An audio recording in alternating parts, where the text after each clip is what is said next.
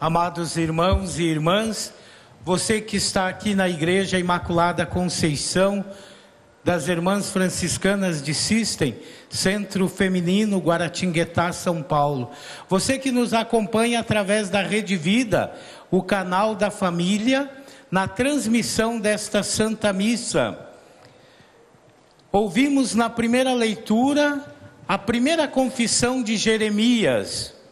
Jeremias, aquele que é chamado por Deus para ser profeta, para anunciar o Evangelho, para fazer da sua vida uma entrega total e generosa a serviço do reino, a serviço da, do anúncio do Evangelho. Você também que nos acompanha pelas mídias sociais da Fazenda da Esperança. Somos uma única família, a família de Deus, reunida ao redor do altar da palavra. E a palavra hoje, então, nos convida a intensificar ainda mais o nosso exercício quaresmal, que nos leva à conversão, que nos leva à vida nova a vida transformada. Estamos vivendo esse tempo bonito na liturgia da igreja, a quaresma, que nos convida a abandonar o homem velho, a mulher velha, corrompidos pelo pecado, corrompido pelas escolhas erradas e voltar para Deus para renascermos na sua misericórdia, na misericórdia do Pai que não se deixa vencer em generosidade, que não se esgota, que não desiste de nós. Deus é rico em misericórdia, Deus acredita na nossa mudança sempre, Deus acredita na nossa conversão. Mas para que essa vida nova aconteça, amados irmãos e irmãs, é preciso ouvir os profetas que falam em nome de Deus. É preciso aprender com eles a ser fiel, a ser perseverantes, a ser determinados como porta-vozes de Deus, anunciando as maravilhas de Deus, anunciando o seu reino. É preciso ficar firme, mesmo diante das perseguições, das contrariedades. Eu dizia no início desta homilia que aqui temos a primeira confissão de Jeremias. Jeremias que foi chamado desde o ventre materno para ser profeta, para ser propagador da palavra, porta-voz da palavra. Antes que tu nasceste, eu já te conhecia, eu já havia te consagrado e já havia te enviado como profeta meu.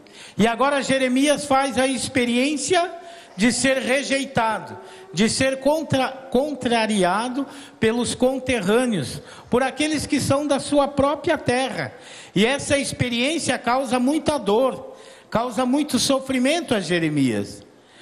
Porque as incompreensões e as maldades, as ameaças, fazem com que Jeremias viva uma realidade de sofrimento, mas ele não desiste ele persevera, ele é fiel, porque ele sabe em quem ele acreditou, ele sabe que quem o chamou o protege, quem o chamou vai o fortalecendo, vai o animando, o encorajando a cada dia.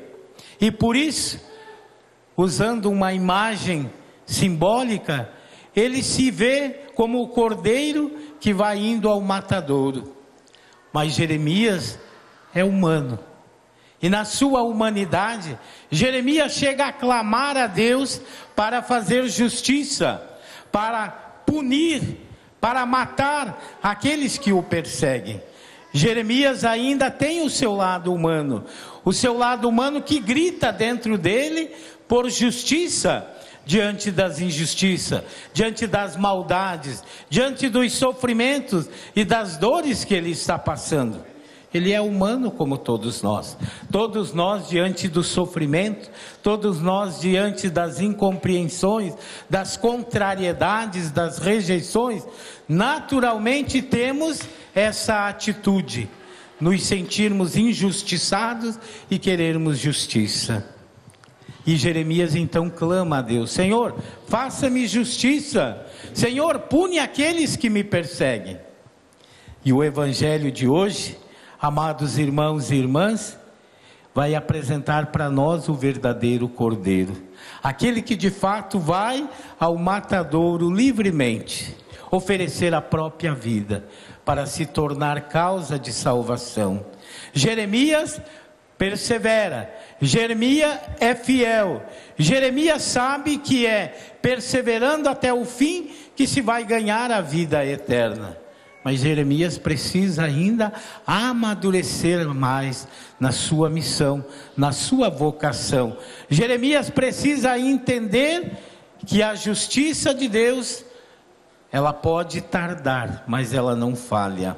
A justiça de Deus é realizada, como lembra o nosso querido místico São João da Cruz, é realizada no amor. No final da nossa existência, nós somos julgados no amor. Então Jeremias precisa ainda compreender isso. Precisa entender ainda que Deus, o justo juiz, vai fazer justiça na hora dele. E é perseverando que vamos ganhar a vida eterna, assim como Jeremias. O evangelho, amados irmãos e irmãs, dá continuidade à temática da primeira leitura, mas agora apresenta a figura de Jesus, que é incompreendido, que é rejeitado, que é desprezado, que é humilhado.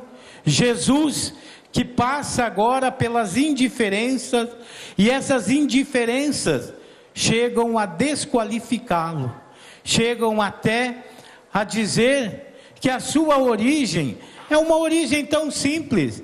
O Evangelho faz essa pergunta: da Galileia pode vir o Messias?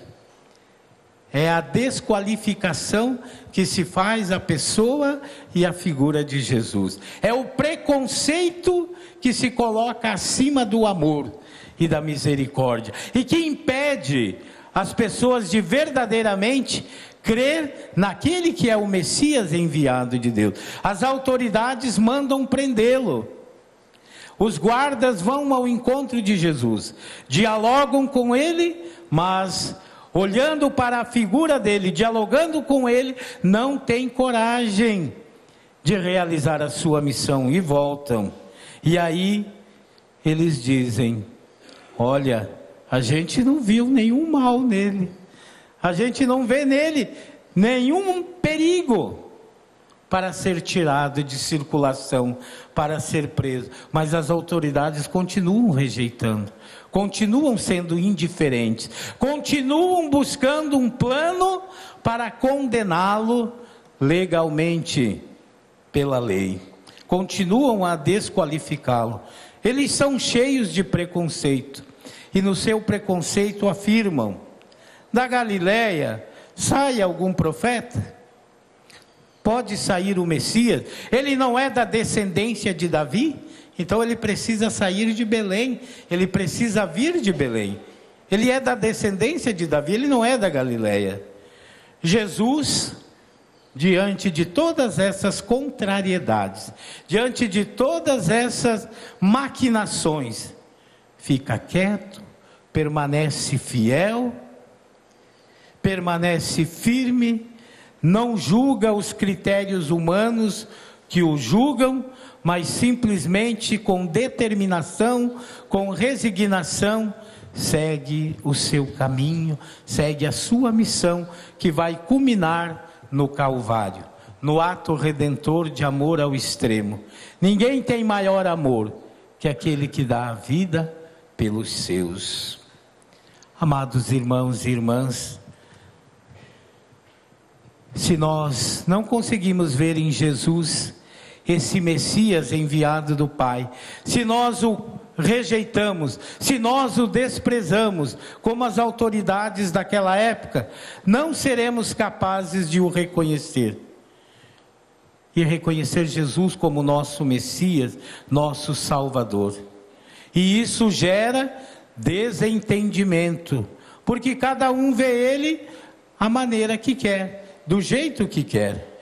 Quando nos fechamos às nossas próprias convicções, dificilmente reconheceremos quem Ele é. E em consequência disso, não vamos entender a sua mensagem, não vamos nos unir a Ele na sua missão, não vamos viver a nossa vocação primordial, que é de filhos amados dele. É tempo de quaresma, é tempo de voltarmos para Deus.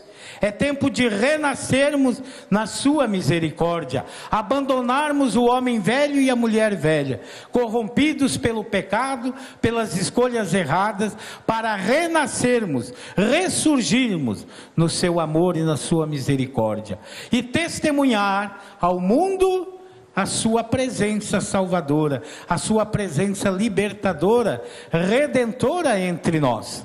Mas para que isso aconteça, nós precisamos ser determinados, como Jeremias foi. Jeremias teve medo, Jeremias sentiu no coração angústia diante das perseguições, mas ele permaneceu fiel, porque aquele que o chamou cuidou dele, aquele que esteve com ele sempre, vai o conduzir sempre, vai o ajudar sempre na sua missão. Nós somos hoje os profetas, as profetisas dos dias de hoje. Nós somos hoje os filhos e filhas amados de Deus, chamados a testemunhá-lo ao mundo. Testemunhar o seu amor, a sua misericórdia. Conversão, mudança de vida, é voltar para Deus e ser fiel. Então você que nos acompanha através da Rede Vida, o canal da família, na transmissão desta Santa Missa, aos nossos irmãozinhos e irmãzinhas espalhados pelo mundo afora, em nossas unidades da Fazenda da Esperança, fazendo unidade conosco hoje.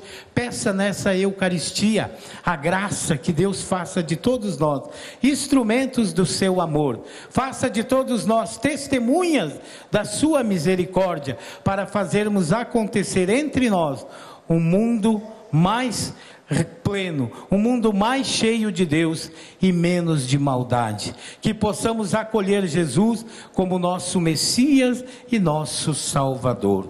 Louvado seja nosso Senhor Jesus Cristo.